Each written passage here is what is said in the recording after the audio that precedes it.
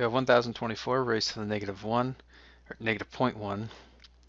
Same thing here as uh, what 124 is equal to is it's 2 raised to the 10th, and this whole thing is raised to the negative 0.1.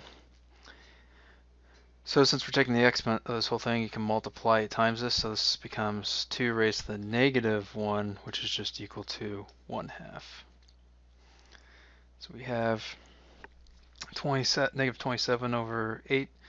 So reduce this down, so this becomes um, negative 3 raised to the third over 2 raised to the third.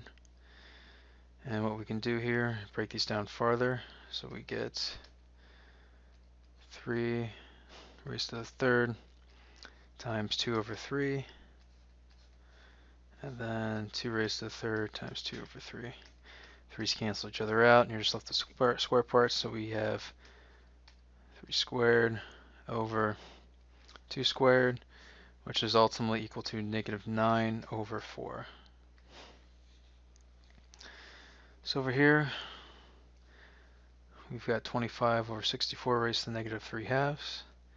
So what we can do here is we've got 5 over 2 and then 8 over 2. I can break these down so we get times negative 3 over 2, negative 3 over 2.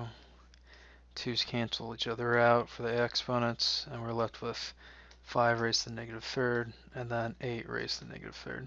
Flip flop them and we're left with um, 512 over 125. That's it.